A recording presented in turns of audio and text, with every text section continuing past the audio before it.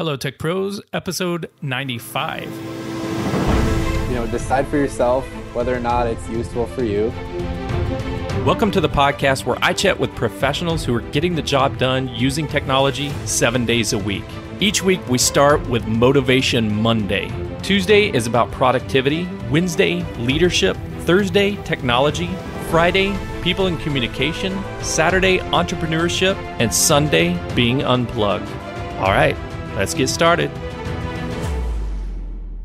Hello, Tech Pros. This is Chad Bostic, and I'm excited to introduce our featured guest today, Aaron Schlesinger. Happy Thursday, Aaron. Hey, everybody. Thanks. Uh, I'm I'm trying. I'm laughing here because I practiced for like what, Aaron, about 152 minutes trying to get the pronunciation of your last name right, and uh, yeah, yeah, so it's, it's a work in progress. You know, like I was say, uh, like I was saying before we started recording, I was born in Texas and raised in Oklahoma, so there's a there's always a little bit of redneck that peeks out every now and then. So, audience, bear with me. Aaron, bear with me. I uh, there's no telling what I may mispronounce people's names, uh, programming languages, you know, all kinds of good stuff. But uh, it's all part of the learning and uh, experimentation process here on Yeah. Hello Tech Pros. Yep. Yeah, a lot of people struggle with the name, so you're not alone, Chad. Cool. Aaron Slesen Sles Help me one more time. Aaron Schlesinger. Aaron Schlesinger There is a go. software engineer at Engine Yard, where he's a core contributor to the Deis project. Being a Go developer for the past two plus years, he has distilled his knowledge of the language into the Go in Five Minutes screencast, which can be found at goin5minutes.com, as well as speaking at various conferences and events about Go. So, Aaron, um, we had an episode just prior to this, just about uh, 40 episodes or so away, back on episode 54 when I, when I talked to Bill Kennedy.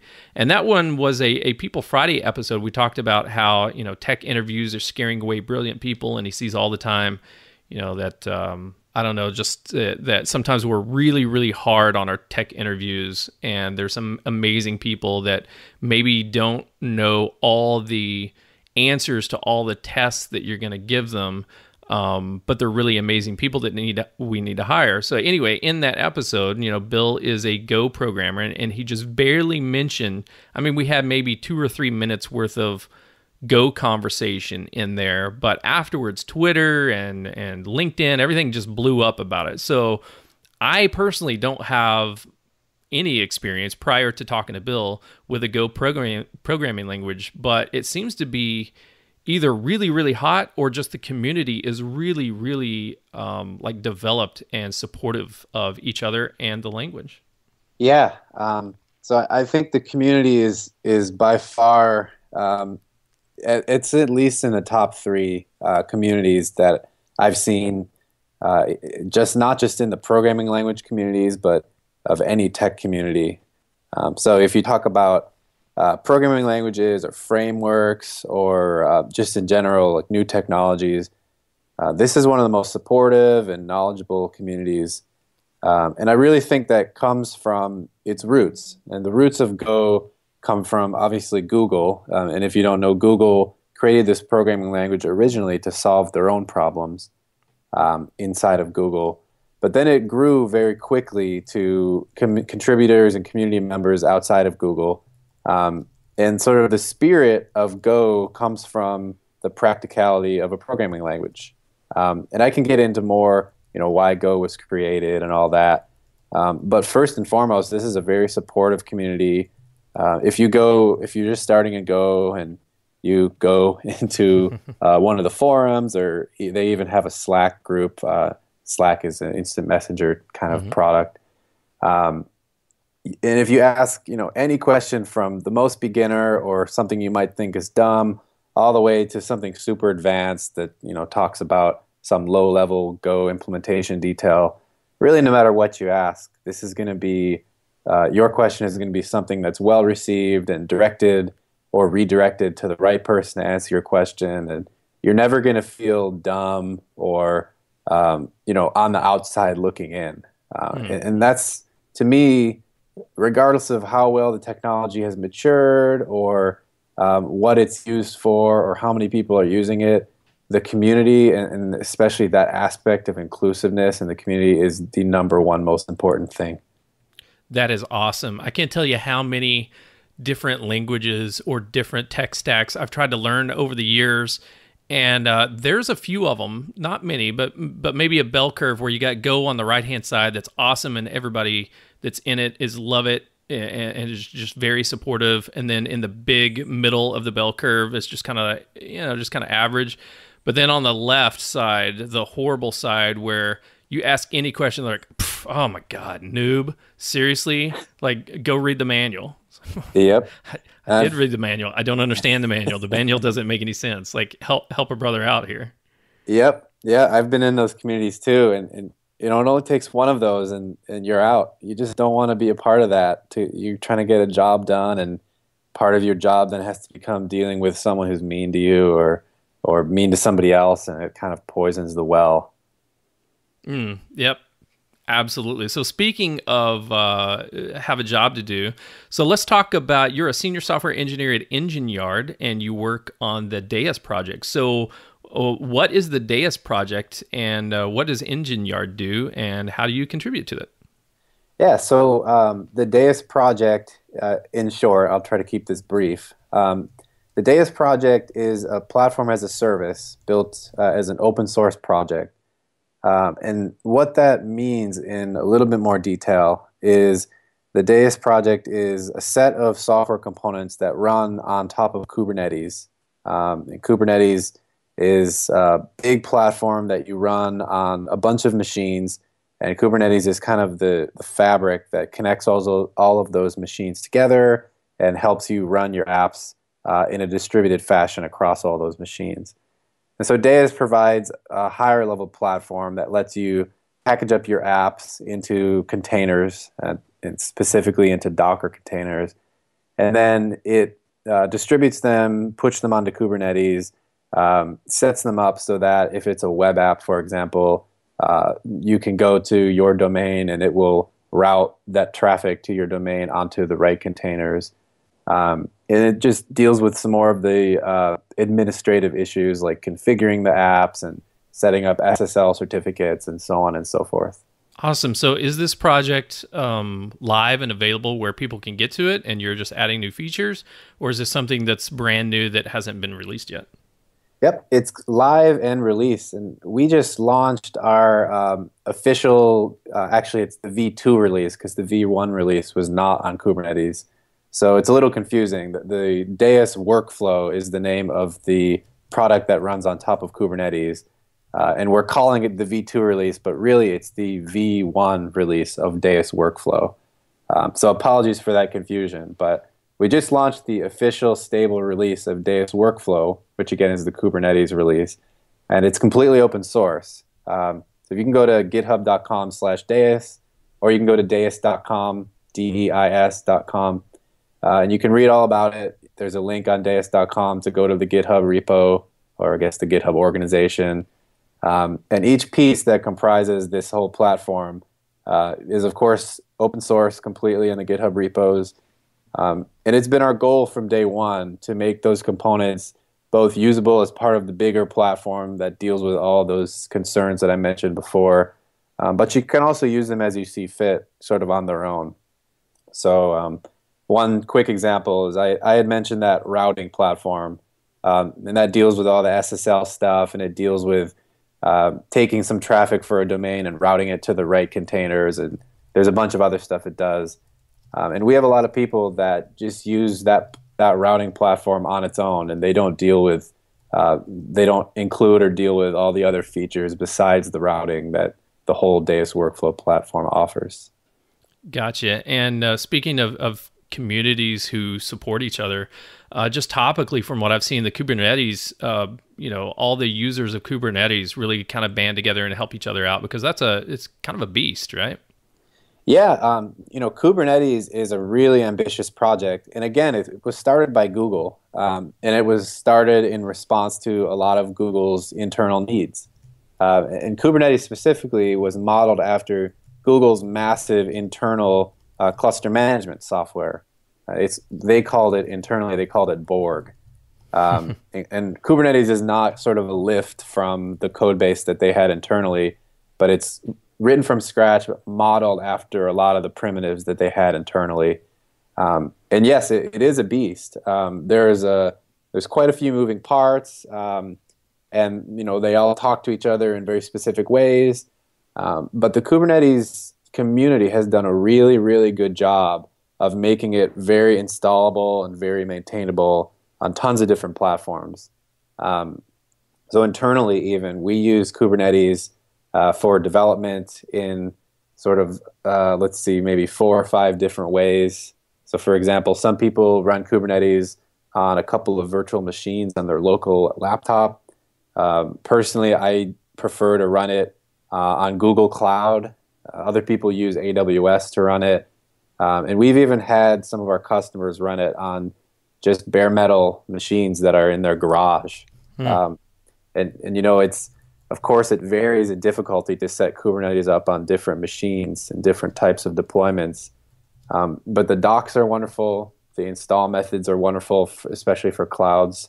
Um, and most importantly to me, the community is really um, is really comprised of tons of resources. Uh, there's people from Red Hat, there's people from the CoreOS company. There's still a lot of people from Google, um, and the community is growing. So all those people are very focused on one specific piece, and one of those pieces, of course, is the deployment story. Uh, and the development is just blazing fast. So I, am really, really, uh, I'm really hopeful, and I'm anticipating tons of growth even over the next couple of months. Awesome. Very exciting. Well, you know, Aaron, here on Hello Tech Pros on our Thursday technology episodes, it's all about the past, the present, and the future of technology. And you kind of hinted a little bit about the past of the Go programming language as well as Kubernetes, how they both originated from Google and they were solving some of the problems or the uh, the original products were solving some of the the problems that, that the Google internal team was having and the reason why they needed this programming language, the reason why they needed this cluster management platform. So maybe you could help us dive a little bit more into the details of that, and then maybe um, your your personal experience with these languages as, as well, and kind of get us up to speed on uh, the past of of these technologies. Sure. Yeah. So. Uh, Go, and you can actually read a little bit more about Go's past and its motivations uh, on golang.org, G O L A N G.org. Um, but I'll distill it down here. Uh, so the sort of the the colloquial story is that the creators of Go were essentially waiting for a build at Google. Um, so Google has uh, tons and tons of C++ code, and some of their builds take over an hour. So the creators were they sent some code onto Google's big, huge cloud um, to be built onto their build servers. And while they were waiting, they kind of imagined this programming language and this tool chain uh, for the programming language that would build things faster, that would be simple enough for uh, sort of a new programmer that was just out of college to pick up, um, and would just be more pleasant to use. Um, and you know, as they were imagining this, they sent in their second build and their third build and their fourth build and so on. And it kind of started this chain reaction of thoughts in their head. Um, and of course, you know, when you have time to think, you have time to um, to narrow down your problem space and become a lot more specific as to what you're solving and really flesh out more and more details. Uh, and as they did that, Go kind of grew in their minds, and eventually they began starting to implement this programming language. Um, and so the major things I kind of hinted at just now, um, its simplicity, um, it's a really heavy focus on native concurrency. Um, and one of my favorite parts about Go that was there from the start is this concept of, of orthogonality. Um, and I know that's a big word. Uh, the word orthogonal in math, it, it essentially boils down to parallel. Um, so these are things in specifically in Go, these are pieces of the language that don't interfere with each other, but they can be used together. Um, so one example is uh, this concept of interfaces. So in Go, um, interfaces closely resemble interfaces in Java, for example, mm-hmm. or um, a little bit less closely, but still similar, are uh, abstract classes in C++. So these are just constructs in Go that define what functions a thing should have. Um, but the really cool part is any type in Go can adhere to the interface. So you can literally have an int. Um, and if you define an interface, that int can adhere to the interface. And uh, you know, I've I've written tons of examples online. Uh, you can find tons of other examples on other people's websites. Um, but you can use two interfaces together at any time. And if you have a type that doesn't implement the interface, you can just add a couple functions on that type and, and you've implemented the interface. You don't have to type, you know, this thing extends some other interface. It just auto- automatically and immediately implements the interface. Uh, and, and, that's a really good example of orthogonality. You, you, really don't have to be concerned with defining what the thing implements. You can just go implement it and then use it and be done with it. Um, and, and, so that's also a really good um, good example of the simplicity of Go as well. So anyway, get, getting off that tangent, um, that whole orthogonality thing is a really, really important piece of Go. And so that combined with the native concurrency features of Go really keeps the simplicity while also making Go super, super powerful. And then if you add in the tool chain, which I had mentioned before, um, the tool chain is super powerful and it always has been. Um, and it allows you with one single command, which is conveniently called the go command. you know, you can go into the terminal and type go build on a million line code base or a massive code base, um, and it will build pretty quickly. Um, you know, I've done it on a 300,000 line uh, line of code code base, so that's lines of real code, not just comments. Um, and it built in under five minutes on my MacBook. Wow. Uh, so it was a four core old school, well, older school MacBook. we all know how fast tech moves. Mm-hmm. Um, you know, it was a four core MacBook with four gigabytes of RAM, which, you know, by today's most modern MacBook standards is not the best. Um, and that 300,000 line code base built in about five minutes. Uh, you know, it didn't use all the memory, it didn't spin the CPU up to 150% usage. It just chugged along and built the code base. And if you were to compare that with building a 300,000 line Java code base or 300,000 line C++ code base, that is a really good experience. And the creators of Go kind of initiated or started this culture of keeping compile times fast and efficient. And that culture has permeated all the way up to now across, oh, let's see, probably 10 plus major releases. And, uh, and it, it will continue to permeate because it's one of the most important things about Go.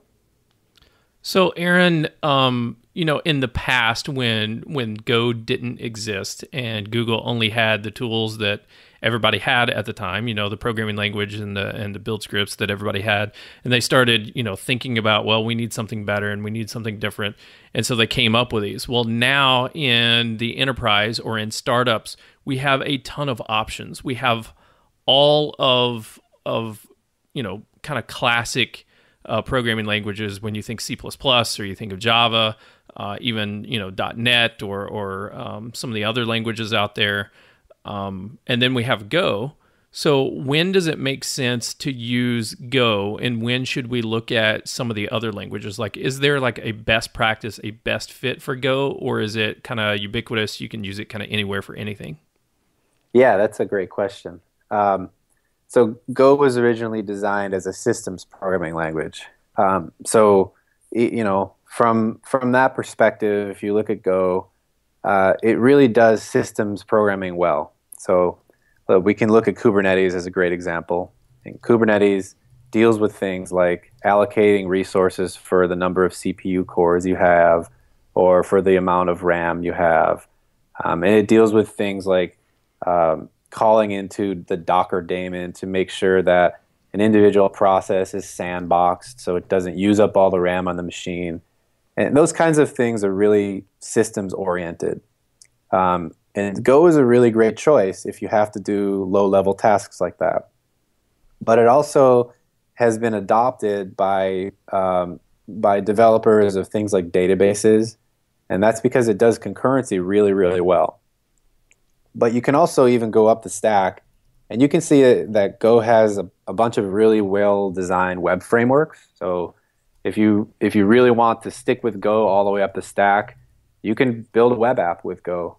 Uh, you, you, know, you're not going to find the all the features of something like Ruby on Rails, mm. um, but if you want to, it's it's not that hard to build a web application with Go, and that's actually something I've done quite a few times in my career.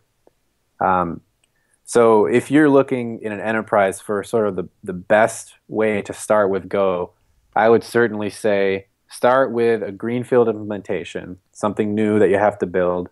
Um, whether it's a systems like a server that deals with low level systems things, or even like a command line interface. Go is really good at, at building command line interfaces. Um, and write it in Go. And I think you'll find that writing this thing in Go will not only shorten your, your time to completion, um, it'll make it, but it'll also make it really easy to learn. Um, and you'll also end up with this binary that's statically compiled that you can distribute to anybody.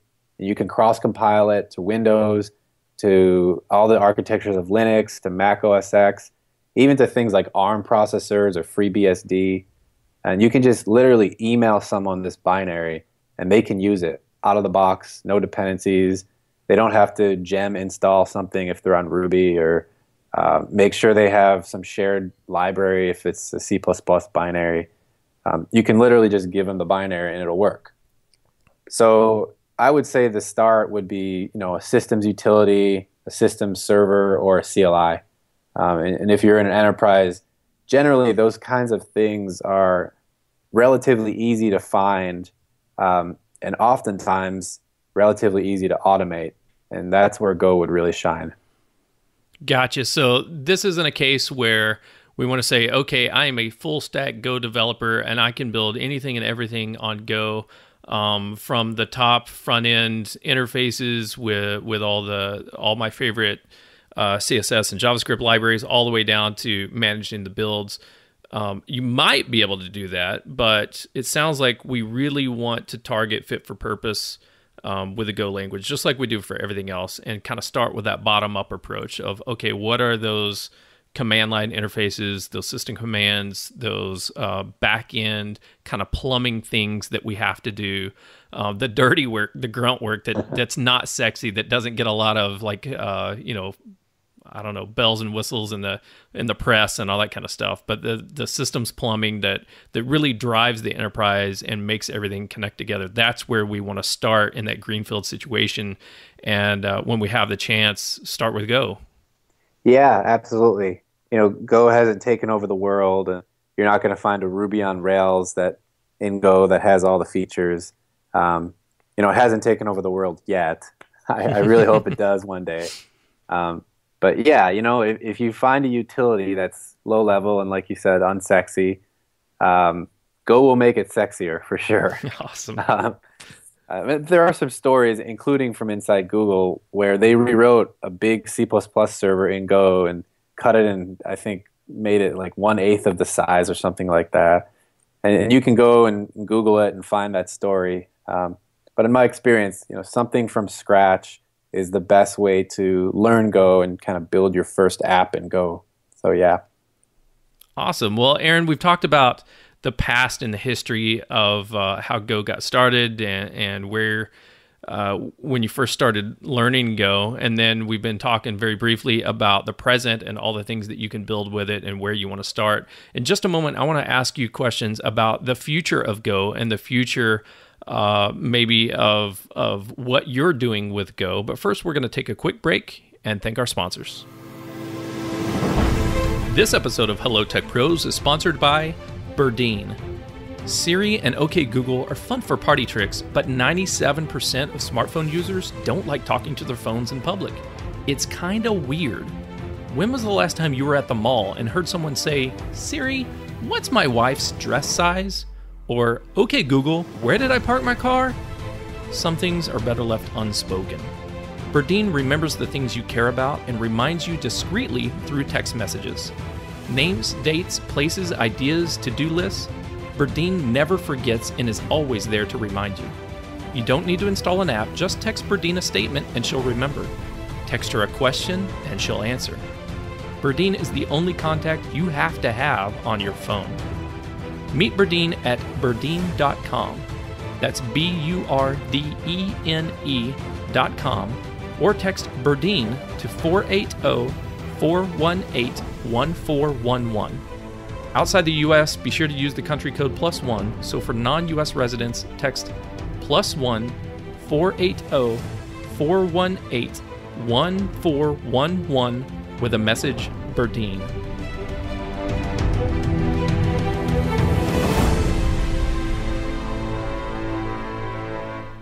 Okay, we're back with Aaron Schlesinger.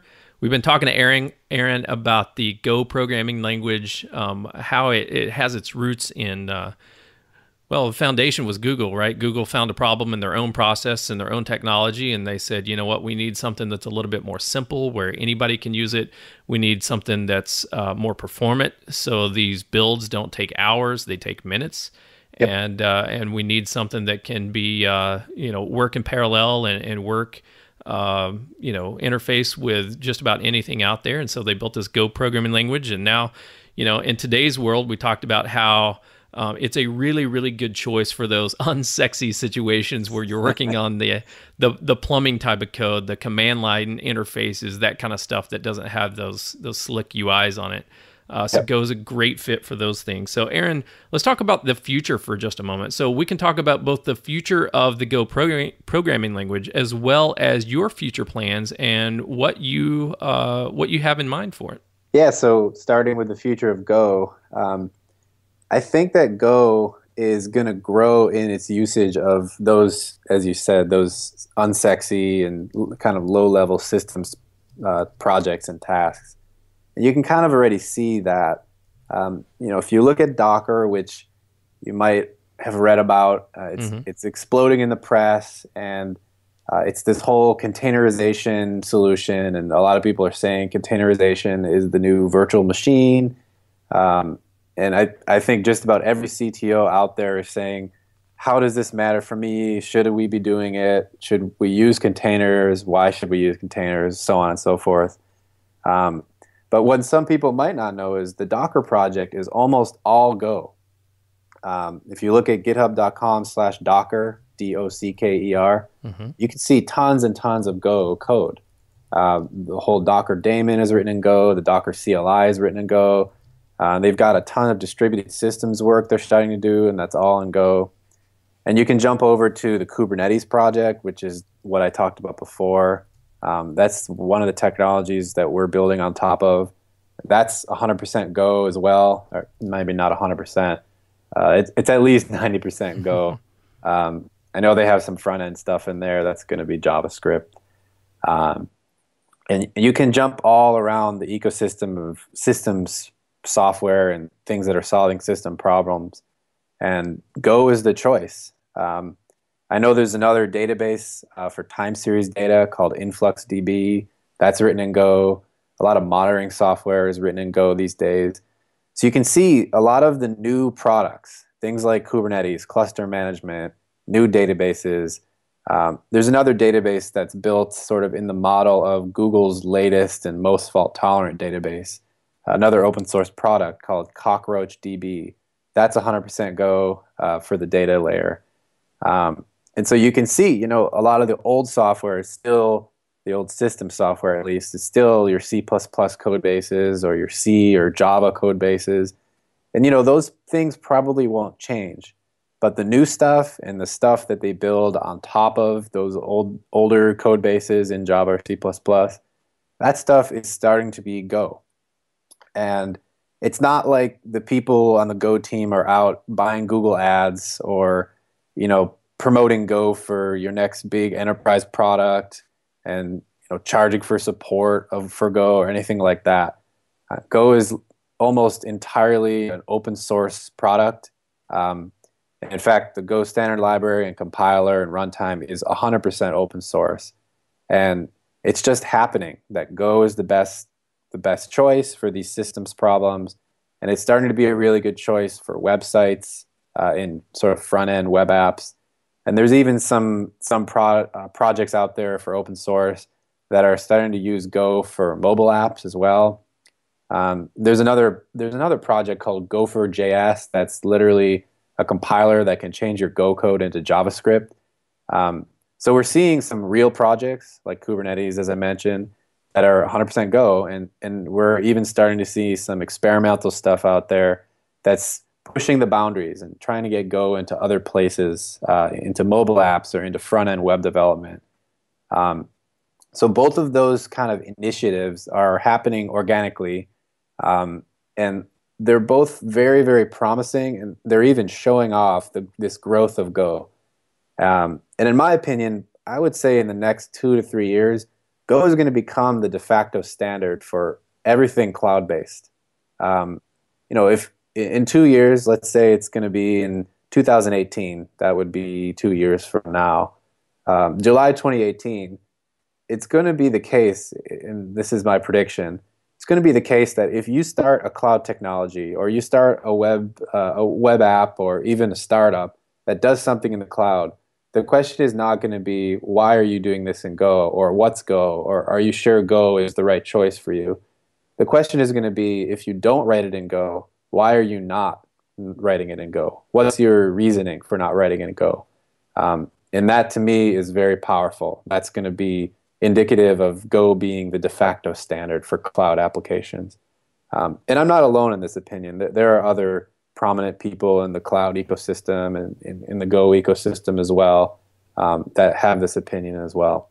Well, I think a, a big part of that um, that acceptance in the enterprise comes with a community support, right? So, uh, regardless of how performant a, a, technology is, regardless of how easy it is to use, um, if the if the uh, community is not screaming for it, then it's going to be really really hard for uh, for architects or executives or or those decision makers to really buy into it and say, yeah, dude, this is uh, this is where our future lies, right? Because they want to make sure that uh, you know if, if they implement something that they're going to be able to sustain it for the next five years, ten years, whatever it is, and that there's going to be a great community of developers to hire or to uh, you know outsource or or however they're going to do to to support the tools that they're building now you know someday in the future yeah absolutely and, and that point about hiring for go is huge um, hiring for go and in fact let me back up a second go as i kind of brushed on before go was designed at google to be really easy for people to pick up um, and that spirit lives on. You know, Go looks a lot like C, or more like C++. You know, it has things that look like object-oriented programming. So if you come from a C++, a Java, a Python, a Ruby, uh, even a JavaScript background, you're going to be able to learn Go probably to a reasonably proficient level in a weekend. Hmm. And the resources are there. They're, they're free. Um, most of them are even on golang.org.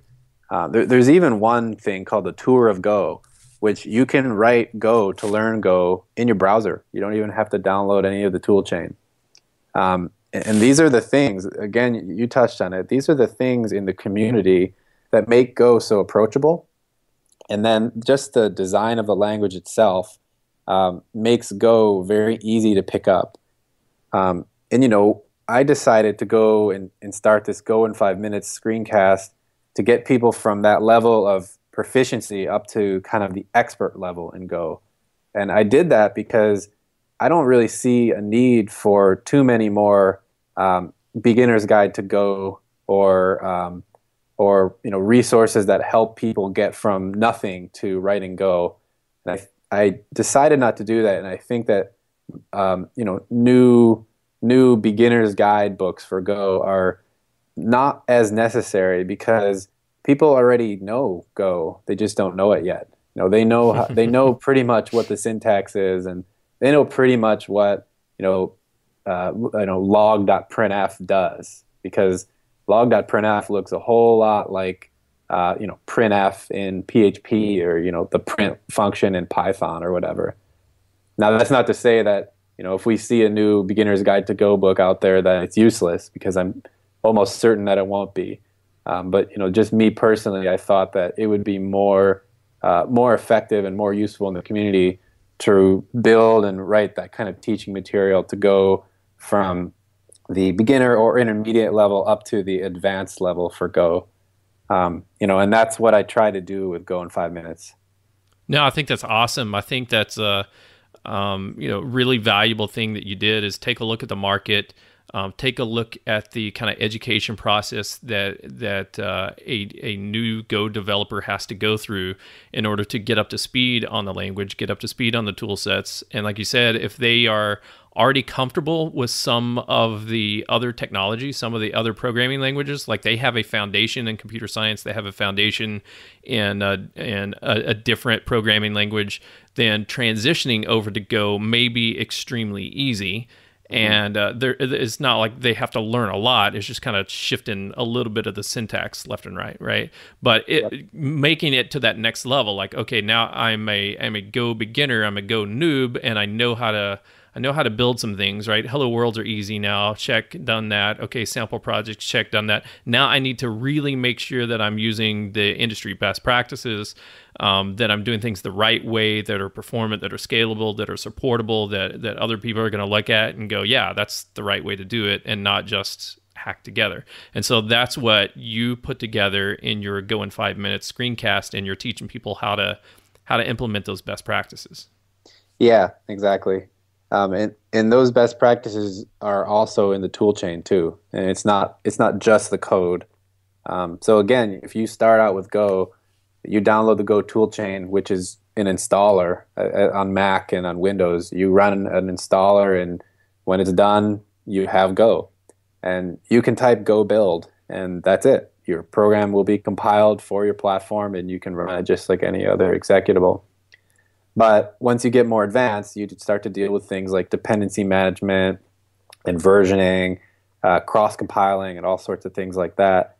And again, that's that's sort of where this advanced level education comes in, um, because when you have to deal with, for example, dependency management, that's where you're going to be working most likely with a much larger product or project if you're in the open source world, uh, and where you're going to have to know a lot of the nuts and bolts about how Go did or did not do things with dependency management and what are the industry best practices today for it and where is the industry going with respect to in this case dependency management?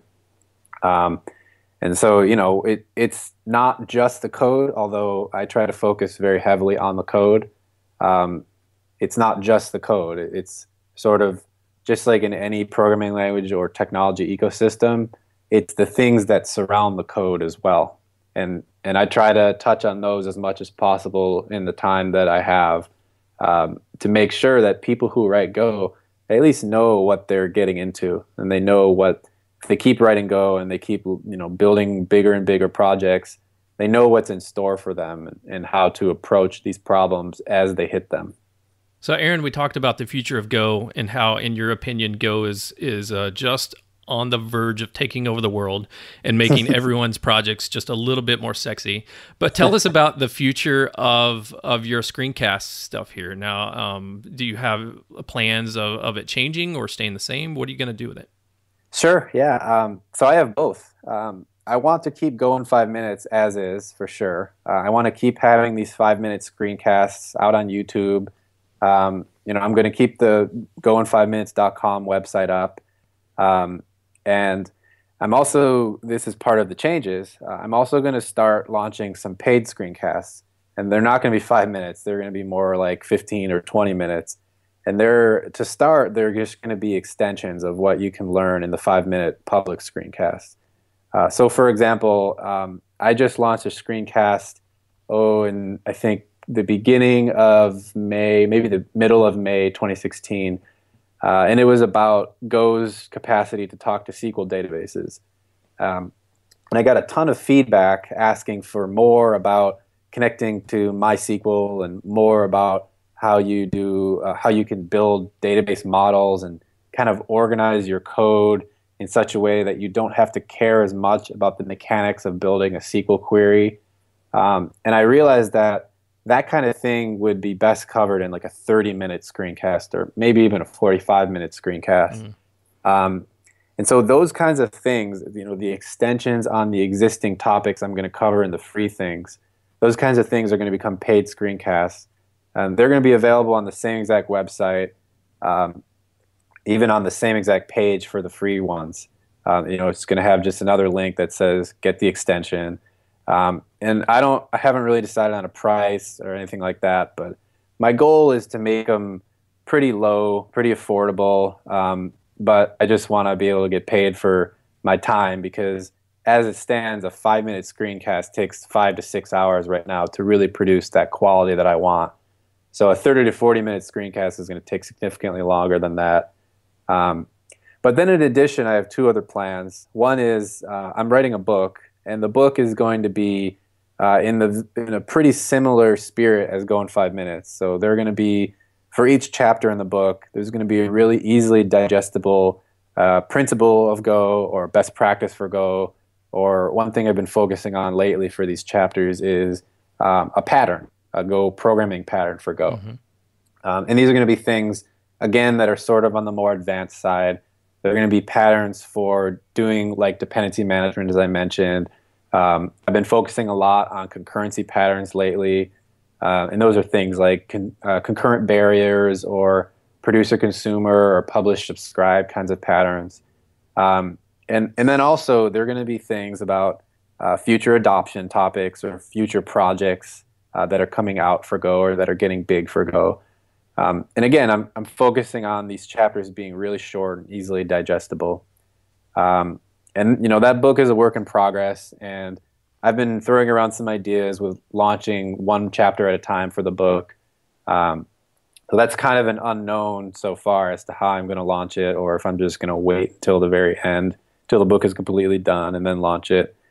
Um, but I'm looking at somewhere for the book, somewhere around October or uh, September, October 2016 kind of time frame for that. Um, but this whole longer, uh, more extended paid screencast idea is probably going to be by the end of July 2016 is when you'll start seeing those screencasts. Awesome, and uh, that time will be on us before we know it. And speaking yep. of time, we're we're running out of time. So before we go, Aaron, could you share some parting words of wisdom for our audience? The best way that we can connect with you, and then we'll say goodbye. Sure. Uh, so parting words of wisdom: check out Go. That's really it. You know, decide for yourself whether or not it's useful for you, but at very least, check it out because Go is coming to take over the world um, also, check out goin5minutes.com. Uh, everything is free on there right now, uh, not just the screencast, but all the code that you see on the screencast is available. There's a link to it uh, on the website. Uh, even the outlines for the screencasts are available too. Uh, that's go in five, the number five minutes.com. I'm sure it'll be in the show notes as well. And then the best way to connect with me, um, the really on the website, all the contact information is there. There's Twitter, there's an email address, um, which is also my personal email address. So don't spam me, uh, please. Uh, there's a there's a GitHub link as well to my personal GitHub repo. So any of those methods is is fine. Um, I just encourage you if you have questions about the contact there or questions about what I've said today. Uh, I really encourage you to just tweet me or email me or carrier pigeon me or whatever is the best way for you. um, you know, I answer questions about screencasts every single day, so I'm more than happy to answer yours. Awesome. And you can find the links to all of that here on the show notes on today's episode. This is hellotechpros.com slash 95. This is episode 95. So if you go to hellotechpros.com slash 95, you'll get access to all of the topics that we've been talking about today, including uh, the resources that Aaron's been mentioning, as well as uh, links to how to get in contact with him. Aaron, thank you so much for joining me on Hello Tech Pros today. I really value your insight and appreciate you taking time out of your busy Thursday to spend time with us. Sure. Thanks again, Chad. You this bet. fun. And uh, Tech Pros, keep your eyes open. Go's going to take over the world. You've been listening to Aaron Schlesinger, and I'm Chad Bostic. And until next time, take care. The show notes page for this episode can be found at hellotechpros.com slash 95. If you enjoyed this episode, please leave a review, subscribe to this channel, and check back tomorrow. This has been Technology Thursday, but tomorrow my featured guest and I discuss people and communication. On Saturday, we talk entrepreneurship, Sunday, being unplugged, Monday, motivation, Tuesday, productivity, Wednesday, leadership, and back again on Thursday to discuss technology once again. And I'll talk to you tomorrow.